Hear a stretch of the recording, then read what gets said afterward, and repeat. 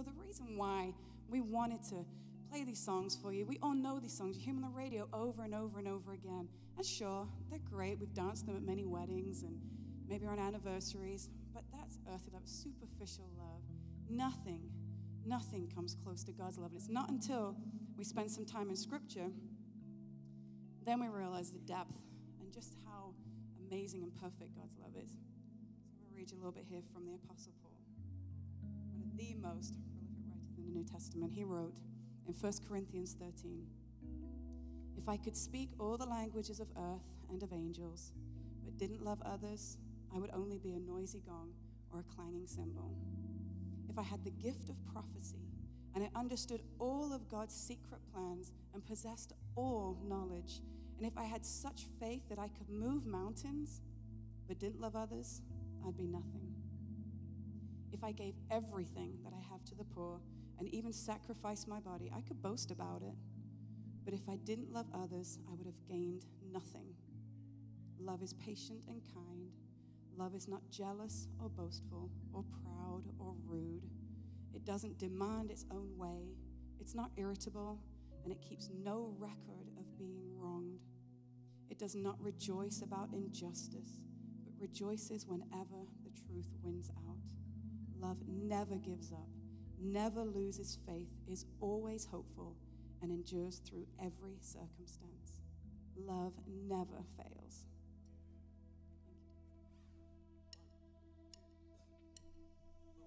Love never fails, it never gives up, never runs out on me.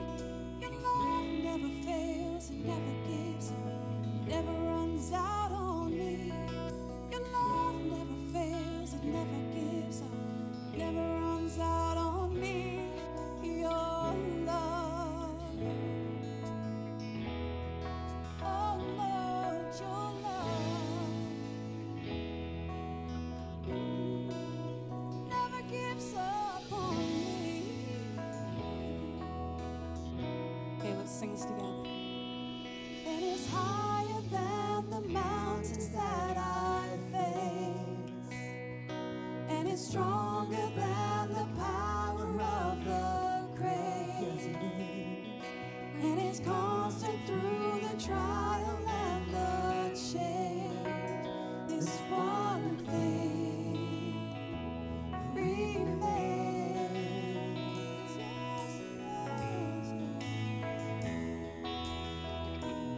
mountains.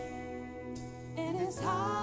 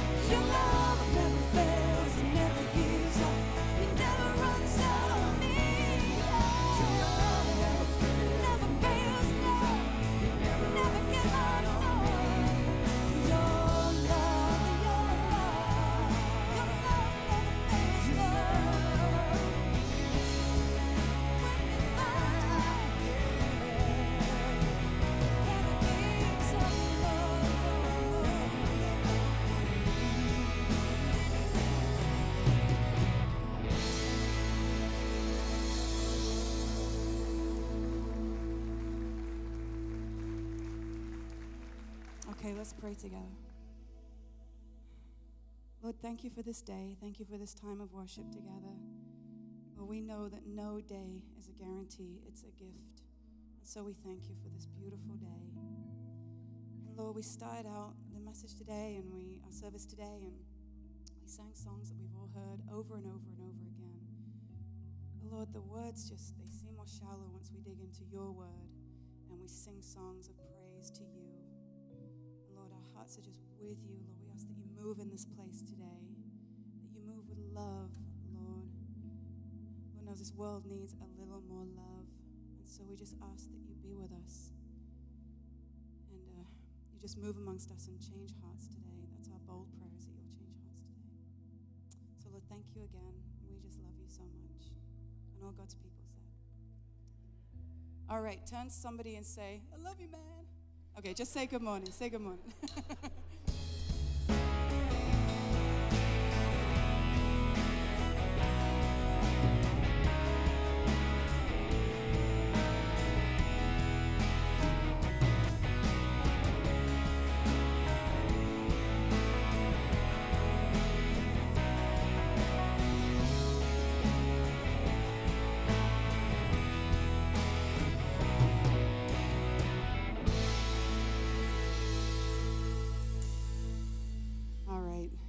Settle down. It's too much fun. All right, uh, the ushers are going to come forward. We're going to receive our offering this morning. It's just another way to express our love and our gratitude to the Lord.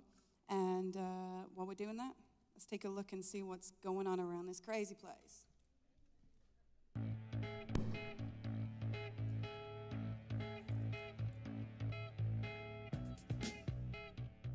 Welcome to Bay Pointe Community Church. Here's what's happening at BP now.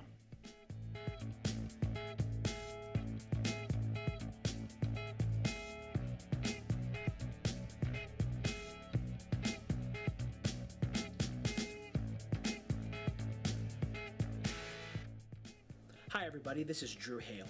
One of our key values here at Bay Pointe is the value of celebration. Over the last couple of weeks, July 15th and July 29th, we've had the opportunity to see 40 people be baptized in the name of Jesus Christ. Now, if you're not familiar with what baptism is, it's simply an outward sign of an inward commitment to Jesus and to his kingdom. So today, we have the opportunity to celebrate with these people that have taken the next step in their journey to being fully committed followers of Jesus.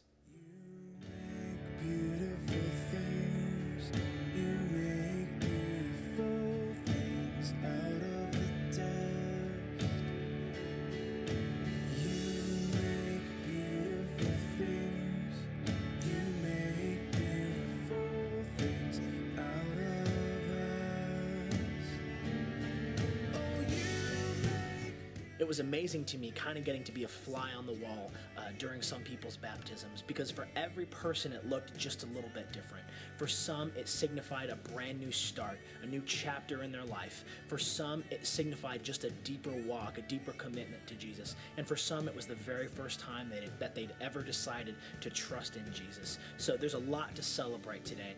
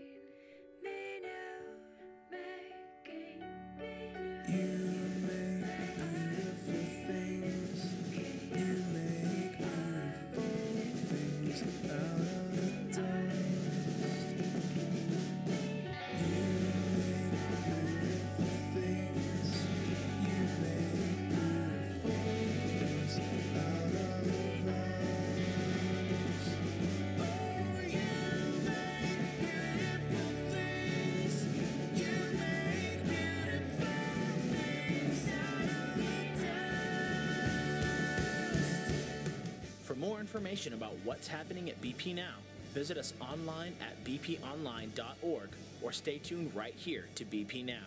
Thanks for watching. We'll see you soon. Why don't you give a big round of applause for the people who were baptized? That was awesome. Yeah. Well, I'm glad that you're here today, and uh, this is uh, hard to imagine, but this is the last series of the summer. Can you believe that? I don't know how in the world that happened. But um, kind of to get us started, in 1964, long time ago, before a lot of you were born, there were four lads from Liverpool, England, who started a musical and cultural revolution. They were named Paul, John, George, and the irrepressible Ringo. Okay? Well, did, did you know, speaking of the Beatles, did you know that Abraham Laboriel, who was here, did you know his son is the drummer for Paul McCartney? And Abe Jr., yeah. I didn't think it was that exciting that his son was the drummer for Paul McCartney. But anyway, Abe Jr. has drummed for Paul McCartney longer than Ringo Starr did. Well, okay then. And, and do you know how the Beatles selected Ringo Starr as their drummer? Um,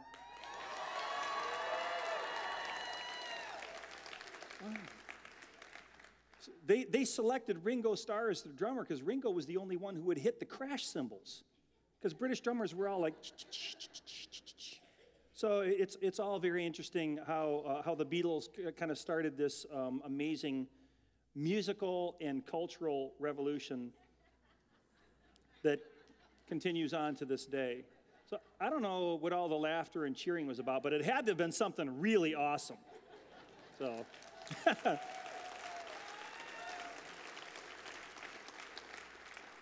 But we are starting a series called You Say You Want a Revolution. And even in my lifetime, there have been a lot of revolutions and there have been a lot of revolutionaries.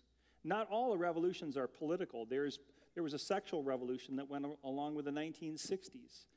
Um, there are music revolutions, there's financial revolutions, there's but, but, but when you think about revolutions and revolutionaries, you tend to think about the political world. And most of the time, those kinds of revolutions are marked uh, with blood and violence. And the revolutionaries themselves are often just brutal, um, bloodthirsty tyrants.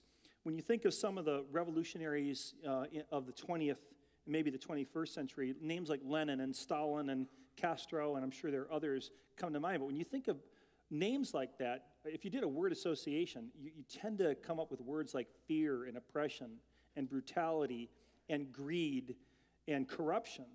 But when Jesus started his revolution, and my whole premise this morning is that Jesus is the greatest revolutionary who ever lived by, by it's, I don't even know how to say it, by a wide margin. And, uh, but the revolution that he started, nobody attributed those kinds of words, fear and oppression and brutality, to Jesus. The revolution that he started was a revolution the likes of which the world had never seen before, and it has not seen since. It was and continues to be fundamentally a revolution of love. No one else's life even comes close to the impact of Jesus from the world of art and literature to education and medicine, science and philosophy, politics, civil rights, philanthropy, and, and even faith itself. The Jesus Revolution was and is so significant that it actually split history into BC and AD. And not only that, but Jesus, and this is not true of all revolutionaries, Jesus lived his own revolution, this revolution of love. It's one thing to espouse an ideology, I'm, I stand for this, I'm going to do that, but to live it is another thing.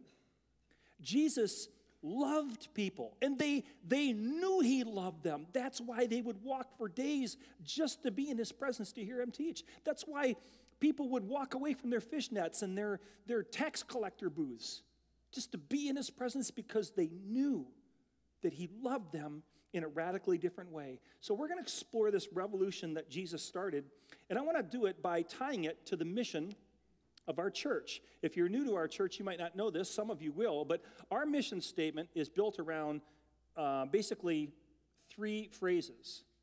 First is love God, and that, you know, both giving and receiving, and that, that leads to grow believers, growing deeper in our faith, and that leads to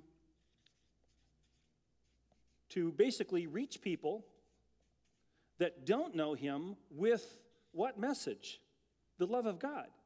So, I mean, if you think about it, the, the mission of our church and the, uh, the revolution of Jesus, it really begins and ends with this concept of love. If I were to boil this message down to one statement, it would be this Love sparked the revolution, and love sustains the revolution.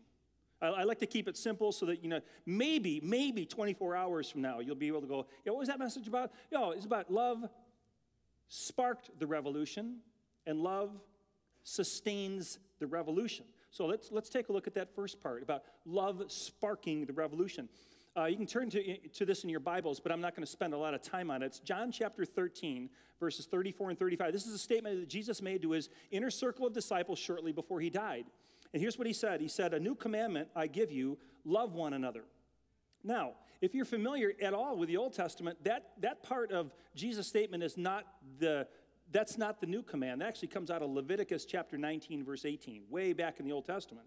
But Jesus goes on he says, As I have loved you, that's the new part, as I have loved you, so you must love one another. And then he says, By this everyone will know that you are my disciples. How? If you love one another. If you love one another the way Jesus loved. So if you want to know who the true followers of Jesus are, you got to follow the love trail. You got to follow the trail of love. You got to look for people who are loving in the same sacrificial, selfless, humble, kind, compassionate way that Jesus did. So, love, according to Jesus, would be the defining characteristic of the revolution. It would not be a part of it, it would not be a, a sideshow. It's at the core of his revolution. But I want to, we, I think we need to think about this because just like the, the variety of songs that we heard, from uh, Just the Way You Are to Love Shack, I was just saying, who does Love Shack on a Sunday morning? But, but it was kind of cool, I, I, just saying. And, but, but so it raises the issue of what kind of love are we talking about here? What kind of love would spark the kind of revolution that's going on for over 2,000 years? And, and I'm going to do the best I can to describe what I think in some ways is indescribable. But in, in the New Testament, there are four different words that are used to describe different facets of love. The first kind of love is the Greek word that's an R, eros, which gives us the English word um, erotic. So this would be passionate, uh, male, female, sexual love. And and uh, this is probably like love shack love or whatever. I don't know. It's just it's just you know what I'm talking about, right? And it's it's a good thing God made it. But when you take eros, that physical, passionate, sexual love, and take it out of its God ordained context, that which is really, really good can get really, really dark and twisted and ugly. So, this is not the love that Jesus was talking about when he started his revolution. There's another kind of love, and it's called philia or phileos. I'm going to just put um, BFF by this one. Best friend forever. This is the. Uh, in fact, if you look at this word, philia, and you attach the Greek word for brother, which is adelphos, it gives you what, what modern word? Philadelphia, the city of brotherly love. So this is kind of an emotional, it's a very deep connected, but it's kind of an emotional love. And you know what emotions are like, right? They're up, they're down, they're all over the place. That is not the love Jesus was talking about to spark the revolution. There's another word. It's spelled in English, S T O R G E. It's pronounced storge, which is like a family love. It's the, the, the, the Bible, the New Testament talks about uh, followers of Jesus as brothers and sisters, a kind of family love. In fact, there's a verse the Apostle Paul writes in Romans 12, verse 10. If you bring that verse up, we have it? Yeah, there it is. Love each other with that sense of genuine affection. That's kind of a storge, uh, family love. But that's not the love that Jesus was talking about when he sparked this revolution. He was talking about a different kind of love. And it's interesting, this word is unique to Christianity. There is no other parallel for this in any other religion. You will not find this concept in Hinduism. You won't find it in Buddhism. You will not find you really won't find it in Islam. You will not, this, is, this is one of these terms that's very unique. In fact, the word which is used over 250 times in the New Testament, so it's a very common word in the New Testament, but it's not found very often outside of the New Testament in the Greek world of its day. So it's a very rare, very special, it's like a jewel of the Christian faith. This fourth kind of love, some of you will recognize the word, is agape. When Jesus said in John 3:16, one of the most famous verses in the Bible, for God so loved the world that he gave his one and only son. The word there is for God so agape the world. So what is this agape love? What is it about agape that sets it apart from physical sexual love or that kind of emotional friendship love or that sense of family love? What, what is this agape love that we're talking about? C.S. Lewis described it as a detached love but not, not detached in the way that we might think of it. He, he said it's detached in the sense that agape love seeks the good and the blessing of others without attaching conditions and expectations in return. In that sense, agape love truly is unconditional. It's not, I love you if, or I will love you until you know, certain conditions are met. It's, it's, it's a different kind of love. It's a, it's a love that basically says, I love you, period. Irrespective of whether or not you receive and reciprocate that love. So, how do we begin to get a handle on this kind of love in a world that's filled with eros? Eros is a, it's a wonderful expression of love, but it's not the revolutionary love of Jesus because, as we all know, Eros gets a lot of ink, it gets a lot of print, it gets a lot of attention in our culture. But we see that that, that rarely sustains a relationship over the long haul. Filial love is powerful as it is. I see BFF friends busting up left and right because it's kind of fueled by emotion. Even storge um, I, I see families, church families, individual families, unfortunately, who once pledged their lifetime love to each other, just walking away. What is it about this agape love? Because when Paul talks about in 1 Corinthians 13, Vicki read it so beautifully earlier, when he said, love is patient, love is kind, you know, and so forth, he said, it's, it's, he uses the word agape in, in every one of those statements when he said, Agape never fails. All of these loves will fail us from time to time. This one, this is the one. Paul says, Agape never fails, ever. So I was trying to figure out how do I illustrate this in a way that'll stick so that when you walk out of here, you go, okay, I, I get it, or at least I have a better understanding. And I thought about Joe last week when he taught, he had a great prop, didn't he? It was a chicken. And I might add, it's a well behaved chicken. I don't know if there are misbehaved chickens because I don't spend that much time around chickens. But in the second service, which I was not at, I was at the first service, but the, somebody told me in the middle of the second service, the chicken halfway through Joe's message just turned and looked at him. I think the chicken got saved during the message. I, I don't know for sure, but, but I'd like to buy its eggs just in case, you know? So I thought about like what prop could I use, and I, I thought about bringing in our dog Bailey.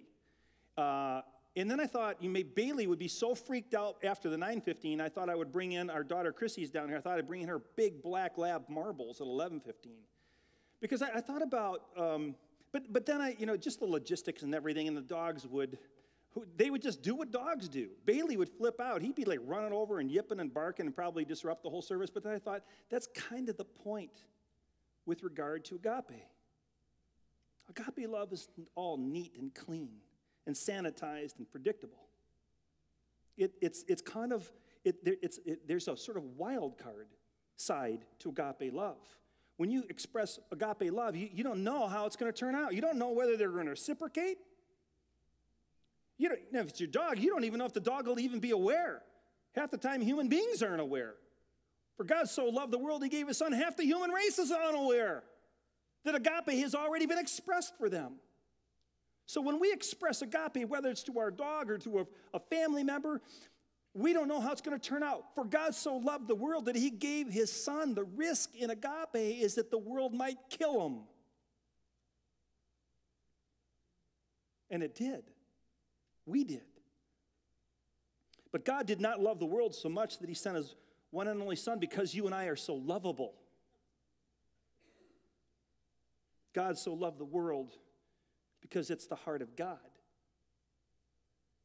And when your heart is full of agape love, this rigorous, challenging, tenacious, tough, enduring love, you have to express that or your heart will explode.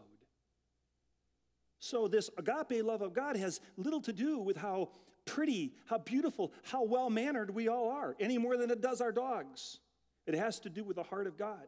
And you think about our dogs. Think about if for those, how many of you have dogs, by the way? Okay? How many of you have cats? Okay, you, that doesn't count. If, if I do a series on the demonic, I will use the cat as an illustration. But so save the emails. I, I just just messing with you. But when our dogs were puppies, they're so cute, but they're not cute all the time. They're not cute when they're pooping and peeing all over the house or chewing on your furniture or stealing your socks. A couple months ago, I, I had Chrissy's dog, Marbles. Marbles is awesome. And I'm, it's on a Sunday morning. I'm getting ready for the service. I'm drinking my coffee, and I had a muffin on the table. I was going over my message, and I went to reach for the muffin. Well, Marbles had snuggled up. I just thought he wanted to be by his grampy. No, no, he's, he's scoping out the muffin, and he's huge, and he just, whoop, the thing was gone. They lounge around, they shed, they basically don't contribute anything to the household, but we love them, don't we? With this kind of crazy love. Sometimes I look at Bailey, he's just sitting on the couch, he's not doing a thing. I just look at him and I'm just, we just, it's just this love burst. Same thing with Marbles or Bea, who's our son and daughter in law's. Bea, you got to pray for Bea. That dog's like got issues. But anyway, but, but we just send out these love beams to them and they sense it and they come running with their tail wagging and they lick us and we pet them and it's awesome. So here's what we learn about the Jesus revolution about love from our dogs. I think we learn this from people too, but the first thing is this the Jesus revolution was sparked by the heart of the lover, not the beauty or the performance of the beloved. It's a very difficult thing to get your head and heart around. Because most of the time we think if I'm going to be lovable, I have to fill in the blank. Behave or do this or don't do that. But the Jesus revolution was sparked by the heart of a lover not the performance of the beloved. Because let me come back to our dogs. I mean, as, as cute as they can be, let's face it, they can be rascals sometimes, can't they? I mean, sometimes uh, they will eat out of the garbage, they will drink out of the toilet. Yeah, I know, gross. They, they'll get sprayed with skunks. They lick themselves in places that are disgusting, and then they want to lick us. Okay? Uh, just saying but we love them anyway. It's this sort of irrational love. And guess what? In our own human way, we can be rascals too. And there is this God who loves us when we're at our best and when we're at our worst. One of my favorite verses in the New Testament is the Apostle Paul, I think reflecting on his own life and his own sin. He wrote in Romans chapter 5, verse 8, these words. He said, God showed his great love for us by sending Christ to die for us when we were at our best all decked out, perfume, well behaved. No, that's not what it says. It said he sent Christ to die for us while we were still sinners. And the word sinners there, I mean, that's sort of all encompassing. Jesus died for us when, when we had made false idols out of things. He died for us when we broke our marriage vows and committed adultery. He, he, he, he died for us when, when we went on shooting rampages and when we lied and cheated and deceived and made a mess out of relationships and made a mess out of the world. For God so loved the world that he sent his son to die for us. See, God doesn't love us because we're always so lovable. And it's hard for us to imagine because of our the, these sort of limited loves up here. But Jesus loved and died for Jeffrey Dahmers. Jesus loved and died for Adolf Hitler. Jesus loved and, and, and, and gave his life for Madalyn Murray O'Hair, who spent her whole adult life railing against the God that she claimed didn't exist. Jesus loved and died for James Holmes, the young man who went on the shooting rampage in Aurora, Colorado. And that does not mean that God loves everything we do. That's, that's a whole other matter. Some of the things that we do are dumb and dangerous, aren't they? But Jesus' revolution was sparked by his unconditional love for us, for every single one of us. And that's radical. It's unparalleled in any faith system. In fact, it's so radical, it begs the question where did the idea of agape even come from? Well, it, it came out of God's Word. The Apostle John, who wrote the Gospel of John, he also wrote the book of Revelation. He wrote three epistles, 1st, 2nd, 3rd John. In 1 John chapter 4, verse 8, he says, God is love. Love is at the core of God's nature. Now, I might add, because the word love has been tainted so much, it's become so sentimental and so whatever, wishy-washy. God is love, but God is a God is a it's a holy love, friends. It's holy in the sense that it's unstained by sentimentality and human sin. It's a holy love in the sense that it does not sweep our sin under the rug or ignore it. It doesn't minimize, rationalize, or deny it. It's a holy love in the sense that it looks at the evil of sin and calls it what it is, and yet instead of being recoiled by it, this agape love moves toward it. It moves toward our sin and our brokenness to cover it and to remove it and to save us and to redeem us. If you want to know what agape love really looks like, take a look at that. And I know that that's a symbol that we're familiar with. But I want you to remember that 2,000 years ago, a man was brutally, brutally beaten. And nails were driven through his hands and his feet. And on that cross, he said, Father, forgive them. That's love of another kind. The Jesus revolution, this revolution of love, was so mind blowing, so powerful that it broke down barriers in the first century that people didn't even realize were barriers because they were so entrenched in the culture. It broke down racial barriers between Jews and non Jews, Gentiles, Jews and Samaritans. They, they, their hatred for each other was probably three times the hatred of whites and blacks in the 1950s in the Deep South. The Jesus revolution, this revolution of agape, it broke down uh, economic barriers that existed between the wealthy and the poor. You can read about that in Acts chapter 2. It's amazing. It broke down gender barriers between men and women, where men and women uh, were now worshiping together and breaking bread together and praying together. This did, it, it didn't happen in the first century. This was absolutely unheard of. By this, this agape love, Jesus said, the world will know who my followers are. Now, how, how are we doing with that? It, that's, that's really the question of the day. How are we doing with this, this agape love, this, this tough, unconditional, selfless servant love? A few months back, the History Channel ran a docudrama, I guess it was, on, on the Hatfields and McCoys. Now, I don't really know like a lot about the Hatfields and McCoys, but I remember hearing about them as a kid. I just knew that, that they were two families that didn't like each other. You guys at least that familiar? And, uh, I mean, and, and the hatred went on uh, between them for over 100 years. In fact, I think in the documentary, it, it, it, suggested that there's been a, maybe like a little bit of a thawing or a breakthrough in the late 20th or early 21st century. But the Hatfields and McCoys, here's an interesting thing about them. They both considered themselves to be Christian families, followers of Jesus. But what were they most known for? Their hatred of each other. By this, the world will know that you are my disciples, by your hatred one to another.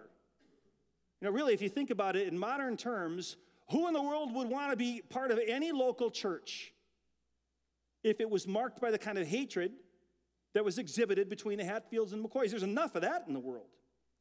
Years ago, Bill Hybels, who's the founding pastor of Willow Creek uh, Community Church, told a story, I think, at a Global Leadership Summit, which we're hosting here this Thursday and Friday.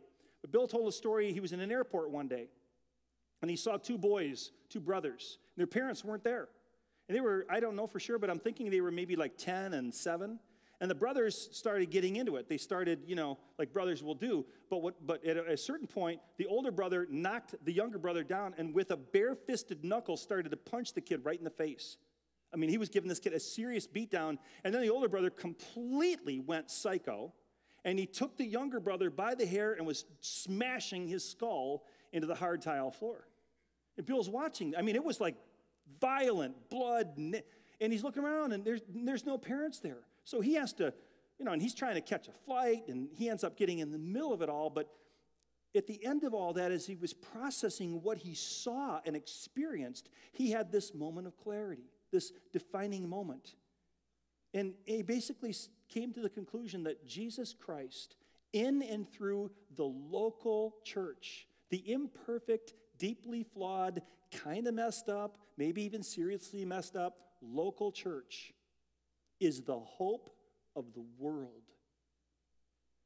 It is only the Jesus revolution, a revolution of love, that has the power to change the trajectory of the lives of those boys, to break the cycles of neglect and violence that they probably witnessed, and to give them a kind of love and, and a sense of forgiveness and uh, healthy boundaries to live a kind of new life. If the church does not step up and exhibit the love of Jesus, the love that he said the world would know you're my disciples, I, I think it's lights out. And for Bill and for me, it, it gave a whole new sense of urgency regarding the mission of the local church. Nobody has to tell me about our foibles, about our warts, about how imperfect we are and we don't get it. I, I'm well aware of that. I'm well aware of it in my life, and I hear enough stories. But I'm telling you, it is the love of Jesus in and through this community and other communities like us that if we don't get love for God and love for each other right, at least most of the time, the world is going to live in utter darkness. It's that big of a deal. And that brings us to the last part of the message. The love that sparks the revolution is the love that sustains it. 1 John 4, verse 7. John says, Dear friends, let us continue to love one another. And I, I want you to hear that. Continue to love one another. In other words, love has an ongoing and enduring quality to it. It- It's not like when you come to faith in Jesus, you get a Jesus jolt, you know, like a triple espresso latte shot of love that lasts for the rest of your life. It doesn't work that. It doesn't work that way for me. In fact, when I was writing that out and I thought about that, that concept of a shot of love, I thought about Bob Dylan. Shot of love. Anybody? Yeah, I see hand waving. I need, I need, I need a shot of love. Oh, you guys, a lot of you have missed out on it, man. I'm telling you, that song rocks. It's so, go to YouTube, check it out. Bob Dylan's Shot of Love. And I thought, we need a shot of love. We need, we need shots. I don't know if you're thinking this kind of shot or this kind of shot, but we need, we need shots of love. We do. The love that sparked the revolution is the love that sustains the revolution. But if, if we're going to be able to give this love away, it's got to flow into us. And how does that work? Because without love, the revolution dies. Without love, we just have dead religion. Without love, nobody will know that we're disciples of Jesus. So, how does that love flow? Well, it flows, I mean, it flows in a lot of ways, but Jesus said in John chapter 15, verse 5, He said, I am the vine and you are the branches. Very simple metaphor. You don't have to be a, you know, in agriculture or horticulturalist. You have to be like a wine specialist. Vine, branch. I'm the vine, you're the branches. Whoever remains in me and I in him, that person will bear much fruit. The point he's making there is intimacy with Jesus, is how, how love flows into us. It's intimacy, intimacy with Jesus that causes love to flow out of us. If we don't have an intimate relationship, and I can't do that for you, and you can't do it for me. But if there's no intimacy with Jesus, the, the flow of love is just going to dry up. So, how, how does that work? Well, that, that's why we talk about things like worship, like gathering on Sundays. Uh, you know, I don't come here just because it's my job. Because if it wasn't my job, I would still gather with a community of Christ followers. And I don't come here because God will be mad at me if I don't show up. It's, it's not about that. I come here because I need a shot of love. Anybody else? I do. I, I need, I need to like, whether it's a song, whether it's a, it might be, it, sometimes I get a shot of love just through a hug. Sometimes I get a shot of love just by knowing I'm not, I'm not trying to serve and live for Jesus by myself. I'm part of a family. It gets me fired up because I forget sometimes. And, and sometimes I get a shot of love when I connect with God through, through the Bible and through prayer and through Christian music. And I, I don't read my Bible and, and pray because it's this religious duty, it's really about relational connection.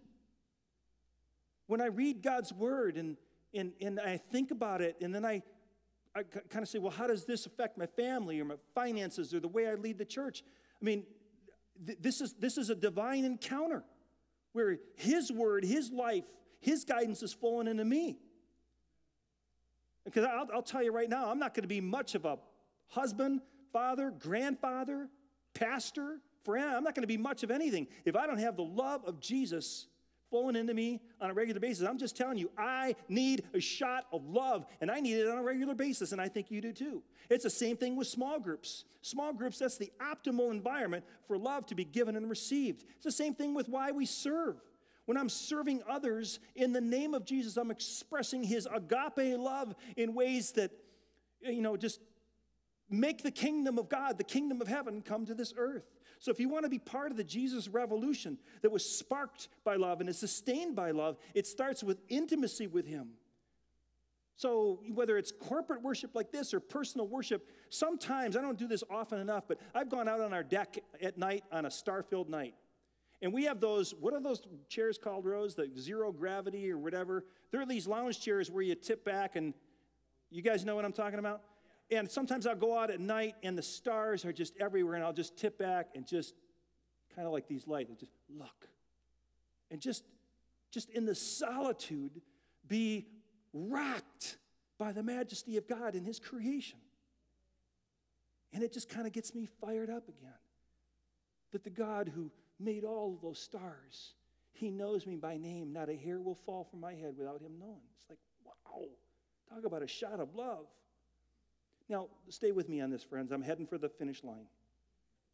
We are surrounded, all of us, every day, with people who have never, ever, not one time, experienced this agape.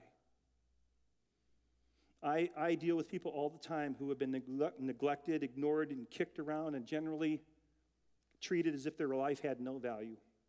And maybe you're sitting here, maybe you're watching the video, and you're going, man, that's my story. And there's something in your heart that's crying, hungering and thirsting for that kind of love. And you're going, I need a shot of love. I'm just going to flat out tell you the source of that is Jesus. If you look for it anywhere else, you're not going to find it. You might find this, you might find this, you might find this. You will not find this apart from Jesus. He's the source, He's the vine. So I would just say, call out to Him from the depth of your heart. You can do it right where you're sitting. You can do it right now. You don't have to do anything, but in your heart, just say, man, if there's a love where there's no strings attached, if there's a God who knows the good, the bad, and the ugly about me, and He loves me totally and completely, and He wants to come into my life, not to beat me up, but to forgive me and to, you know, to just live inside of me in, in a relationship of love. Man, if that's you, I don't know of a better deal on the planet. It doesn't cost you anything because it cost him everything. It's already been paid for, free and clear. All you can do is open up your heart and say, Come in. If you haven't done that, oh man, do it. And Come see me after the service or see somebody. Ask them what that's all about. But for the rest of us, I want to remind us of a movie that came out a couple years ago and it had to do with a marriage that was in deep trouble. The film was called Fireproof. I'm sure some of you have seen it. The movie was about a typical married couple. They, they meet, they fall in love, and then they fall out of love and end up hating each other. I see it all the time. But the breakthrough came when the father of the husband, who was a deeply committed follower of Jesus, he came to his son. He said, Son, I want to give you a, what he called a love dare 40 day challenge to love his wife, even though, even though the filial, the emotional love was dead as a doornail. He said, It doesn't matter, love her anyway. Um, treat her with kindness. Do things that will express love to her. The son, because he loved his father, said, Okay, dad, I'll do it. Well, his heart wasn't in it, and his wife knew it, and he kept getting slammed and slammed and slammed. Finally, he said, That's it, I've had it. I'm... His father said, Don't give up, son. Give it one more shot. And about midway through the love dare, God did something in the heart of the husband. All of a sudden, the husband was convicted by the fact that was patently obvious to everybody else his heart wasn't in it. He was just going through the motions. And somehow there was this encounter when he became aware of, of his profound selfishness. And he, this was not about his wife now, this was about him. And he cried out and said, God, I need you to forgive me. There's all kinds of sin in my life. And this isn't even really about my marriage anymore. This is about me, the kind of man I've become. And in that moment, he experienced the agape love of God. He experienced a wave of mercy that washed over him. And in the process of confessing his sin and receiving God's unconditional love, God placed in his heart a genuine, authentic love for his wife. And so he continued on with that love dare. And it wasn't easy. Day after day after day, his wife just slammed him, but, he, but she could see something had happened in his heart. And over a period of time, love won, agape won. It wasn't eros, it wasn't filial love, it wasn't storge. It was agape love that won. You see, the revolution that broke through in him was now able to flow through him. And it was messy and it was hard, but that's real love, friends.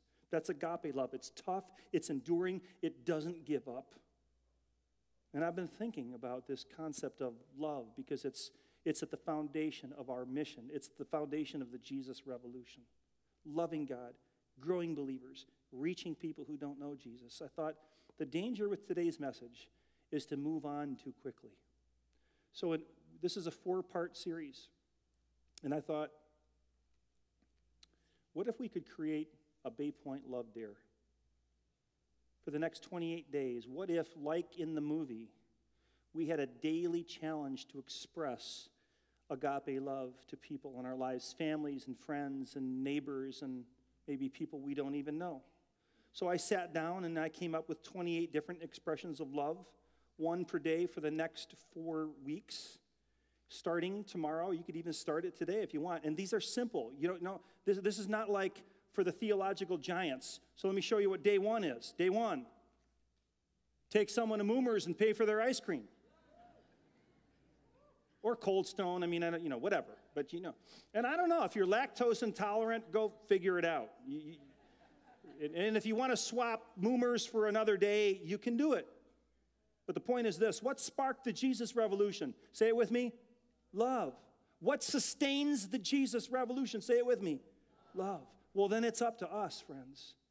If you, you say you want a revolution, well, if you want a revolution, a kind of revolution that heals and builds up and restores and is full of love, you got to follow the revolutionary. And we have an opportunity to do that in very simple, practical ways over the next four weeks. And I hope you will. I hope you'll join me in that journey. I don't know if I'll hit all 28. Maybe I'll hit three in one day and miss a couple others, but I'm going to do the best I can to continue that revolution that Jesus started years ago. So why don't we stand and we'll close in prayer. And uh, before I pray, I just want to mention that um, next week we're going to talk about growing uh, believers. And um, the song that we're going to use next week is Help, I Need Somebody. So uh, now that you know that, I hope that you'll reach out to somebody that might need that too and bring them with you next week. And I want to let you know if you're new to Bay Pointe, if you've just been worshiping with us for a little while, we're going to have a very brief gathering, five or 10 minutes, over in the prayer room. It's just an opportunity for me and some staff members. We might have an elder or two stop in, but it's just a chance to connect with those of you who are newer, just to say hi and maybe share a little bit about who we are, answer whatever questions you may have. So you're all invited to stop in in the prayer room. So, Father, thank you so much for this revolution that, um, that you and your Son and the Holy Spirit started many, many years ago. We live in a world when you think about revolutions, man, it gets ugly fast. We've seen pictures of the Holocaust. We've seen pictures of Darfur and Sudan. Um, the depravity of humankind seems to know no bounds, but neither does the love of God.